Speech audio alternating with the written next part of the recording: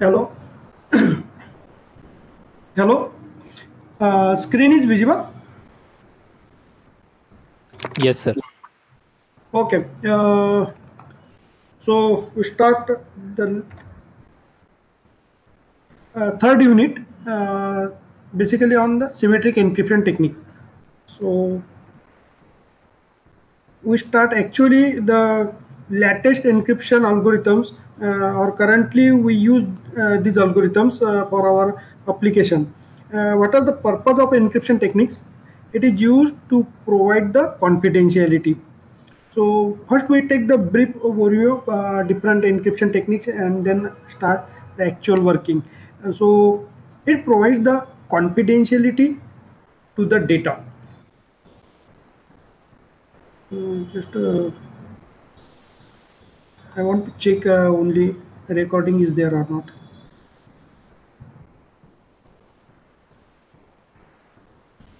Okay. Uh, so it provides the confidentiality to the data. What is meant by confidentiality? Uh, it is one of the service we already learned about uh, different services so it is one of the security services which provide uh, the confidentiality to the data that means only authorized person can encode the data or decode the data and read it. So there are basically encryption techniques are classified into two types. One is block encryption techniques and second is stream. So we also say it block ciphers and stream ciphers. Ciphers means algorithms. So uh, block ciphers uh, and stream cipher, this classification is based on the number of bits processed at a time. That means whether it, uh, we already have overview of uh, different classical encryption techniques. In this, uh, some encryption techniques use one bit at a time and convert it into another bit. Some take as a group, just like uh, in Hill cipher, we take uh, in the matrix form and when we multiply this matrix that means one bit is not converted into another bit but it is as a or uh, in Playfair cipher we take at a time two uh, as a group of two alphabets and we convert this into different two alphabets. So in this classification is based on whether you have to take how many number of bits you have to process at a time so block cipher, a block of fixed number of bits is processed at a time. That means those ciphers or those uh, encryption algorithms are called block ciphers where the block of fixed number of bits is processed at a time. That means instead of taking one bit at a time and process it like Caesar cipher or monoalphabetic cipher, here we take a, some a block of some fixed number of bits in that block and we convert this all bits at a time into a block of same size into so we get a ciphertext of the same size of the block. Stream cipher one bit is processed at a time.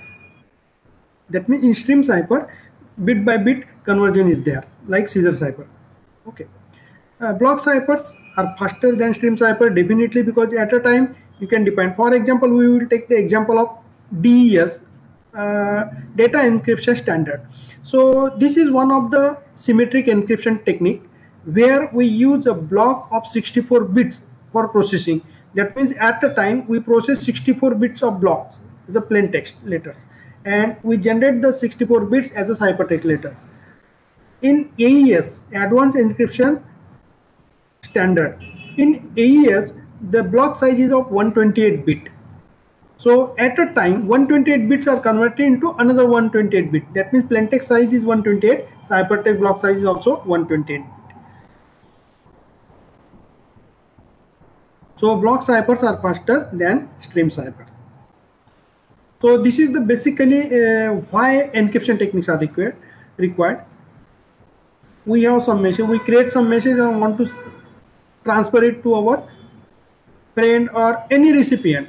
Okay now, in this way, in between, there is an insecure channel. That means when the data is transferred, that means when you enter submit, send button, you press, the data is not in your control. Now it is going and travels and it reaches to the recipient. In between, anyone can try to attack this Yeah. So this is called insecure channel. An opponent tried to capture this data from here.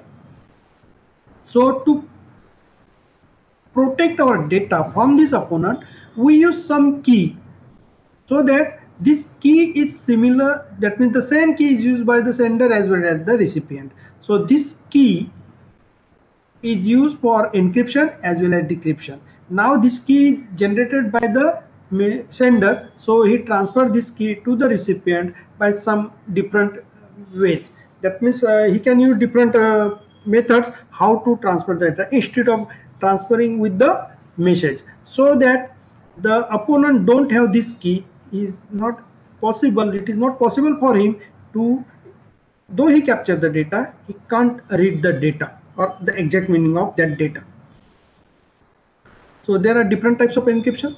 One is symmetric encryption. Second is asymmetric encryption. What is symmetric encryption? Same key is used. Symmetric indicate the same key is used for encryption as well as decryption. So that's why it is called symmetric encryption. So only one key is there.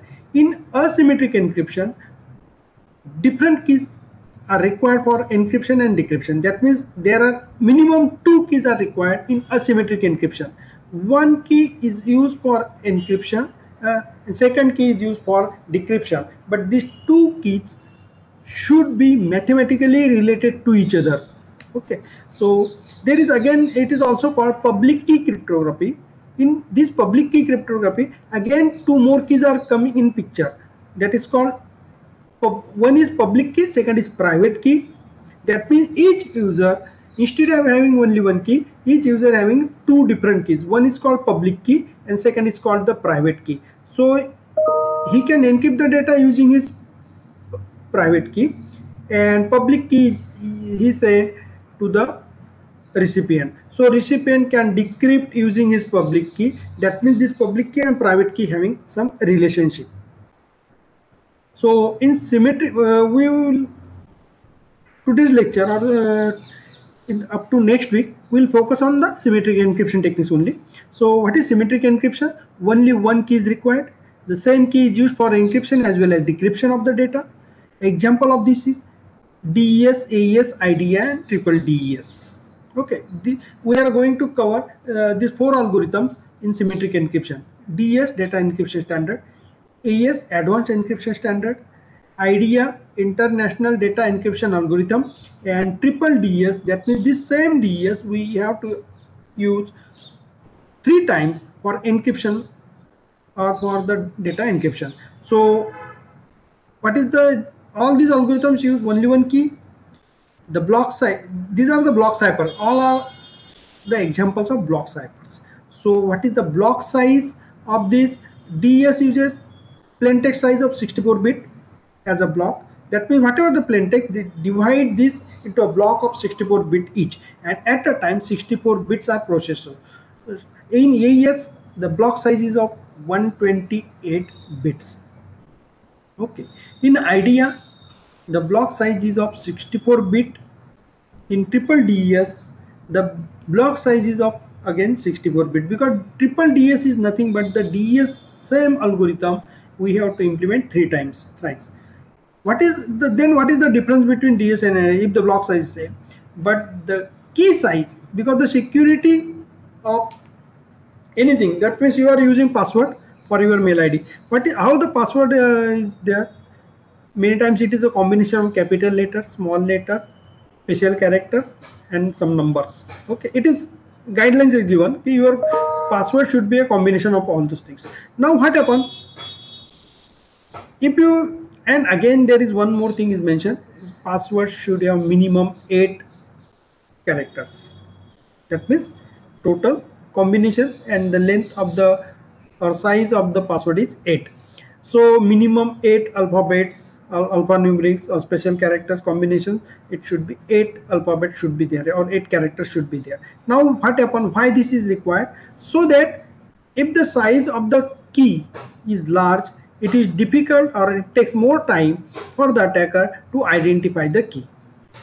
So AES, the key size is 64. For DES, the key size is 64. For AES, the key size is 128 bits. IDEA, the key size is 128 bit and for triple DES, it uses three keys.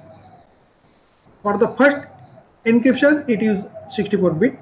Second is the decryption process using second key that is 64 bit. Again, third is the DES algorithm is in use for encryption that is 64 bit. So total key size is 192 bit. Then uh, this algorithm, before going to each uh, algorithm individually, we will go for some basics about the symmetric encryption. So these are the components of symmetric encryption. That means the whatever the plain text is there, sender having the plain text, he use some key and some encryption algorithm and encrypt the message. What is this encrypted message is called? It is called ciphertext. Now this ciphertext is transferred to the recipient. That means submit it uh, the send button and then it going towards through the internet to the recipient. Now this encrypted message, that means this ciphertext received at the recipient, he used the decryption algorithm. Now suppose here if he used the DES, the same algorithm is required for decryption. If he use the AES, the same algorithm that AES is required for decryption and this key also requires same. So same key is required. So it is called symmetric and now this plain text is there. Now in asymmetric, this key should be different from this key. So that is the basic difference between symmetric and asymmetric. So in asymmetric encryption, two different keys are required. Keys are mathematically related to each other. That means two different keys are required. Okay, but there should be some relationship that is mathematical relationship between these two different keys. These are called public key and private key. The key which is publicly available for all are called public key. Okay, it is available. We already discussed all these things uh, in the very first lecture because whatever your mail ID to create some mail message and send it to your friend, you have two requirements. You should have your own mail ID and password related to that mail ID. So this mail ID and the password are related to each other? Yes. Then this mail id it is known to anybody so it is called public key. And the password it is the private key. So other than you nobody is able to open your mailbox and read write something or uh, create some message. It is not possible without knowing the private key. The key which is publicly available for all are called public key. The key which is known only to the owner of the key is called private key. Some of the examples of asymmetric encryption is a Diffie-Hellman algorithm, RSA algorithm, and elliptic curve cryptography ECC. These are some of the examples. There are so many asymmetric and symmetric encryption techniques are there. But as far as our syllabus is concerned, we are going to look on some selective algorithms. Okay. Now we go in details of the symmetric encryption. First we see how symmetric encryption can be developed. That means if you want to design symmetric encryption, how you can design. So first thing is that it is based on the Feistel structure. That means before going for the DES algorithm, we will first look about the Feistel structure. What is mean by Feistel structure?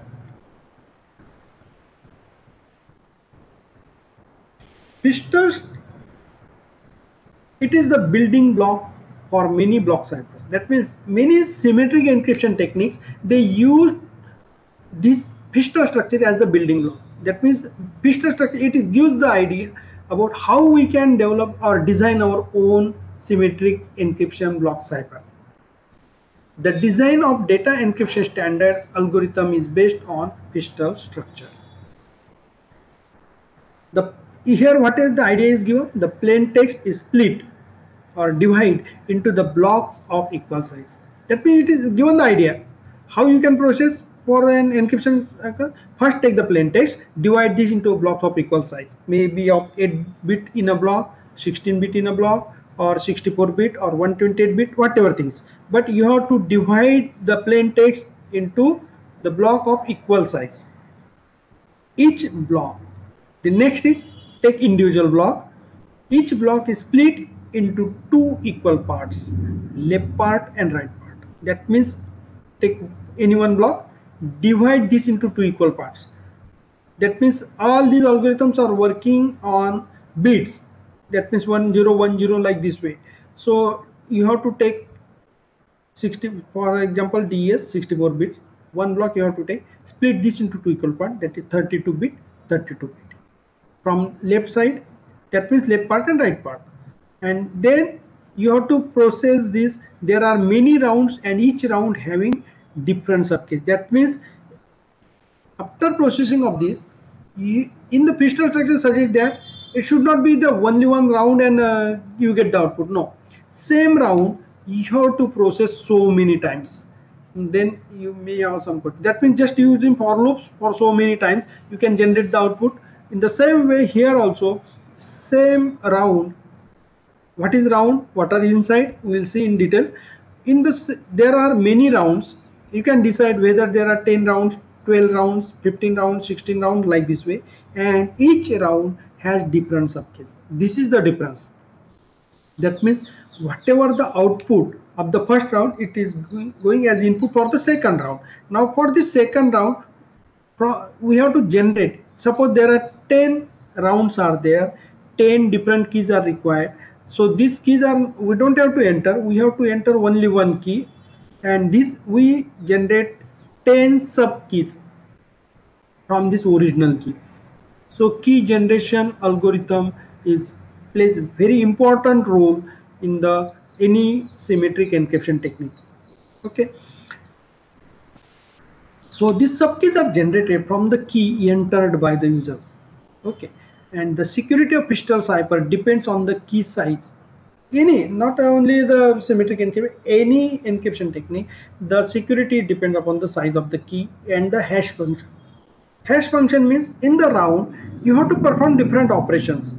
And that is called hash function. So what type of operation you are going to perform or you are perform in this that is called the hash function. For example if you calculate the XOR operation only in there. That is also called the hash function.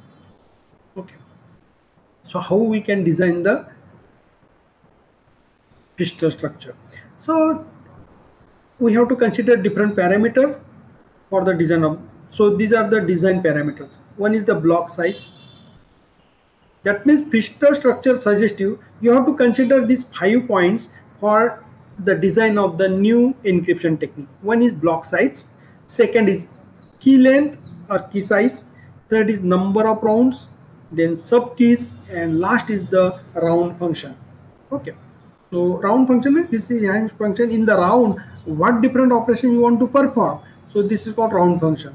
So i think block size you understand key length that means the number of alphabets in the key how many number of rounds you have to decide yourself then how you can generate the subkeys what logic you are applying for generation of the subkey from this original key and the round function that inside the round what type of different operations you want to perform. So these are the design parameters for any cipher using Feistel structure. We will uh, look one by one. Block size what is block size it indicates the total number of bits in a block block size indicates how many number of bits are there in a block. So larger block size just mean greater security. That means uh, if suppose in a block size instead of 64 bit, if you take 128 bit at a time, so it provides more security. But what happen? Uh, processing time is also required more. So pros and cons are always there so you have to select the suitable block size according to your application. So block size indicates the total number of bits in a block. For DES, the block size is given, they have decided that 64 bit. For AES, 128 bit. Okay. now, key length. It is the length of the key or size of the key. Larger key sizes means greater security but may reduce the speed. So it is always uh, preferable to suppose your password. If you select the password having the that means length of the password is 100 character. What happen? It is very difficult to keep in mind okay because it is always suggested that don't uh, keep your password in written form anywhere so don't write it on the paper you have to keep in your mind now if the 100 word length of the character okay you can keep it in mind it's okay. But what happen every time you want to type the password it takes lots of time. So it larger key size means greater security but may reduce the speed. So you have to select the optimum size of the key. That means the key size may be 10 character maybe 15 character like this way. Okay. So for DES the key size is selected as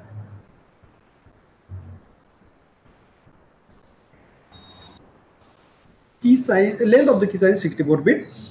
And as far as uh, for AES it is 128 bit. Okay. we'll go for next parameter. So first parameter Feistel structure suggests that you should select the proper block size. Second is it select the size of the key properly and then select the number of rounds. So if it is only one round it is uh, attacker may able to get the output or may able to crack the algorithm. So it suggested that you should use the number of rounds. The security of any block ciphers depend on the number of rounds in the cipher. So multiple rounds offer increasing security. All this is only one thing is common. Block size, larger block size, more security. Larger key, length, more security. Number of rounds, large number of rounds, more security. So what is the purpose of these things? It provides more security but also at the same time more time is required. That means speed is reduced. So we also today's world you know what is the importance of speed. So speed is important.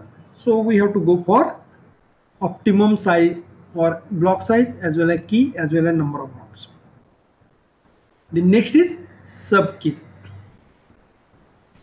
now what is sub key?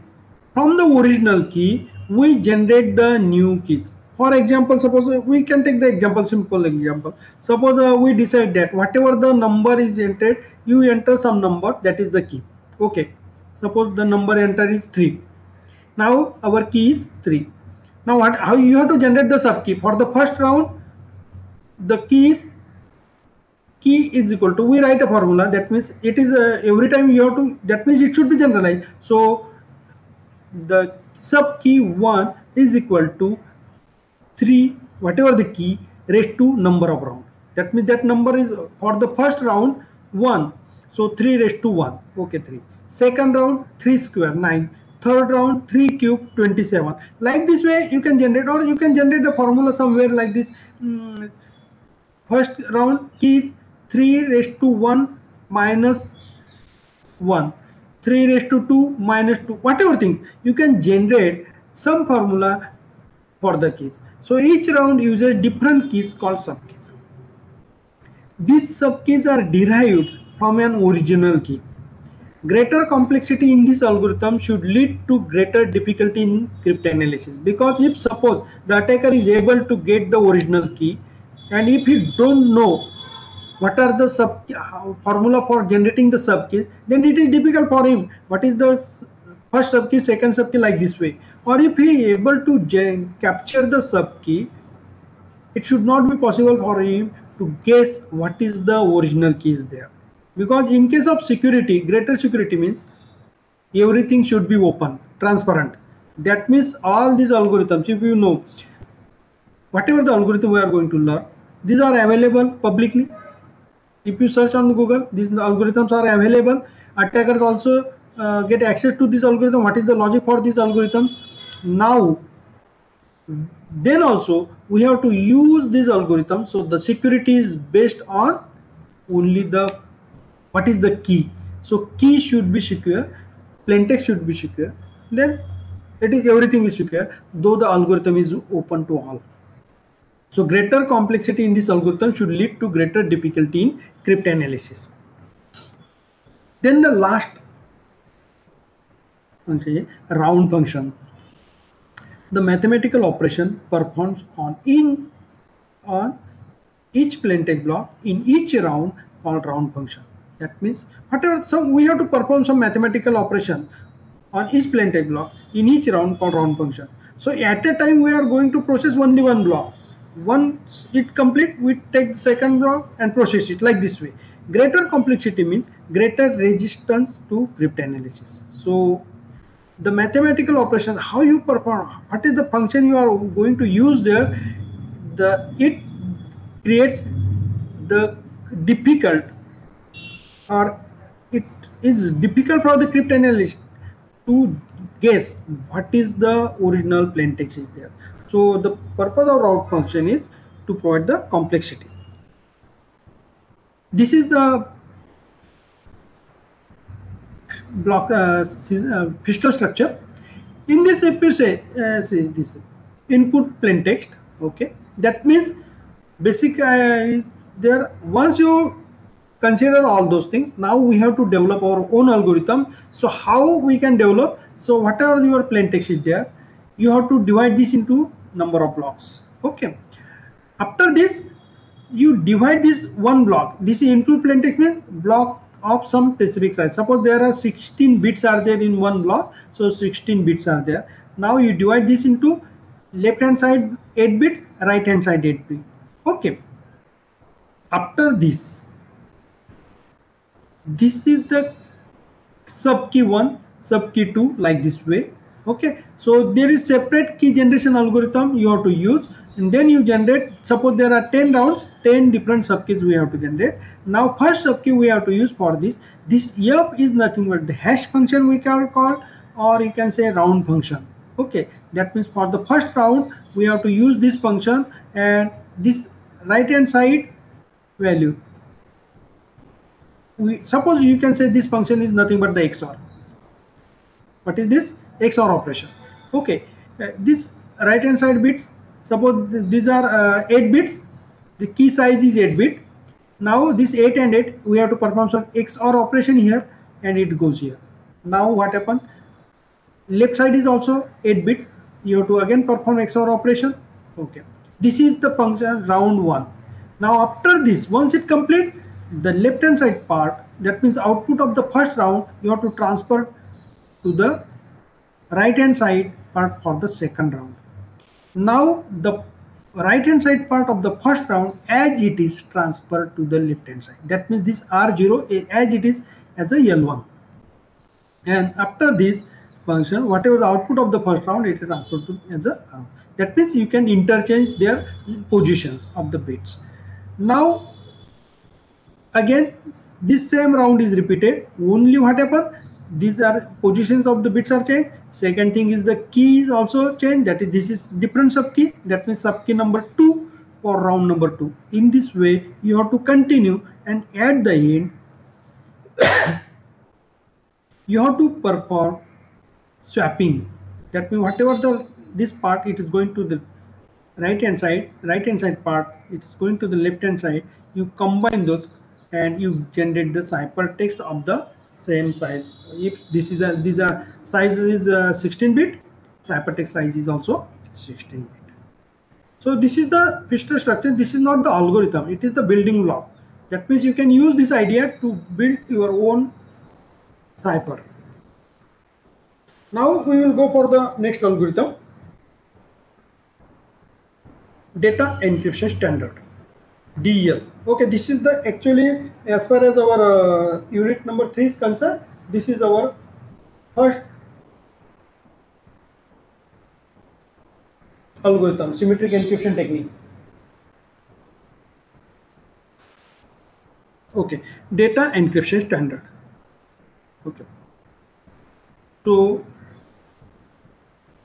this is a block cipher designed based on Feistel structure that means it is designed from the Feistel structure. It was published in 1977. The plain block size is of 64 bit. Key size is 64 bit. Number of rounds 60. What are the parameters for Feistel structure? Block size. It takes block size of 64 bit. What is the key size? 64 bit. Second parameter. Number of rounds 16. Third parameter then various permutation and S boxes are used to provide confusion and diffusion. That means here we use what is meant by per permutation? change the position of the bits in the plain text and S box that is also called substitution box. Some box is there and we use those boxes. The permutation boxes is also available. Substitution boxes are available. We use these boxes to shuffle the positions of this and this provides the confusion and diffusion. That means the relationship between the ciphertext and the key and ciphertext and and the plain text is complicated. That means somebody knows the ciphertext, it's not possible to generate the key as well as the plain text. Okay. So this uh, this is the simple design of the DES algorithm. So initialization vector.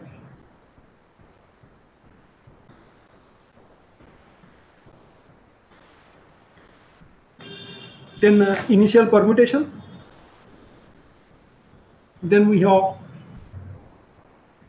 divide this into two blocks 32 bit 32 bit. That means this initialization vector means you are 64 bit plain text block once you get 64 bit plain you have to apply the permutation initial permutation. Initial permutation means suppose uh, you have your ms number from 1 to 64 suppose. So 64 students are there in the class or 128 or 192 whatever things. We divide these students into a batch of 64 each. Just like your practical batch of 20 students each like that way. Suppose in one batch 64 students are there. So their roll, number start from 1 to 64 okay now what happened this 1 to 64 they can sit sequentially 1 2 3 4 like this way during your exam time just like this way. Now we want to permute it. What is mean by permutation? We randomly call someone okay roll number 50 come and sit on bench number 1 then on the second position roll number 1 on the third position roll number 64 like this way. So this is the initial problem. What happened then? Then it is very difficult to know which is the first bit. That means which bit is at the first bit position which is at the second bit position like this way. Once you have to perform this then you have to perform the round. So what is the first round? You divide this into 32 bit 32 bit. Left side 32 bit and right side 32 bit. And now you have to perform some operation here that is the round function. And this k1 k2 up to k16 because there are 16 rounds are there. So these 16 rounds we have to perform. So k1 k2 k16 these keys are generated. There is separate key generation algorithm. Now you have to at the end swapping of right side and left side to each other and then final permit again you have to permit use the permutation table. This is reverse of this. Whatever the initial permutation this final permutation these tables are related to each other and then 64 bit ciphertext is generated. So take next block. Again apply from here. Initial vector initial permutation you generate the second 64 bit ciphertext like this way. Actual working of DES is like this way. See here uh, plain text you divide this plain text into a block of 64 bit each. Okay take any one block apply initial permutation. After this you divide this into left 32 bit and right 32 bit. Okay. Once you have done these things what is the next thing? This right 32 bit you have to apply the expansion permutation. What is this? We'll see in the next lecture. Then you have to perform the XOR with the key sub key generation. After this you have to perform the S box operation, then P box, then left side XOR operation. So this is nothing but the round function. Expansion permutation, XOR, S box and P box. This is called the round function and up to XOR. And after this, this is the output generated. This is the new right part for the second round and the right part is the new left part for the next round. And this is the key generation process. So I think uh, we should stop here. Uh, we'll take uh, this from this slide in the next lecture and continue for the DES. You have to implement the DES algorithm, uh, but simplified DES. You should note down your next assignment is simplified DES algorithm. Before that, assignment 3 is already given. You have to use those uh, things. That means XOR operation is there, shifting operation is there. Okay so expansion permutation we have to give. And now you call those functions only whatever the algorithms you are written and you have to develop or this uh, DES simplified DES so for simplified DES you can read from the internet. You can download something. You can get simplified DES what is the working of those things. And I will give you the material also on simplified DES so it is the instead of 64 bit we can consider 16 bit and uh, then we process it because uh, it's helpful to understand the simplified DES algorithm. It is the working is say, similar to the DES uh, so that's all for uh, today's lecture. So if you have any question you can ask in the chat box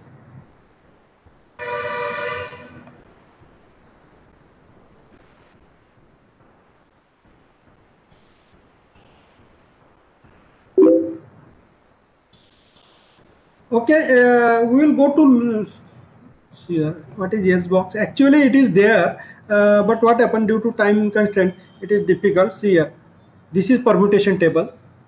This is expansion permutation. This is compression permutation and this is called s box. S means substitution box. So we have this type of design is there for s box. We can use this s box uh, for to convert our original bit into this thing. Just Vigenère cipher, do you understand? We use that uh, 26 by 26 matrix and we can use the row and column uh, like this way, the exact. So we will discuss this in the next lecture first and then actually the algorithm will start. So it is there, but uh, time is not permitted. Okay. So we'll detail uh, discuss about each box in the next lecture. That's all.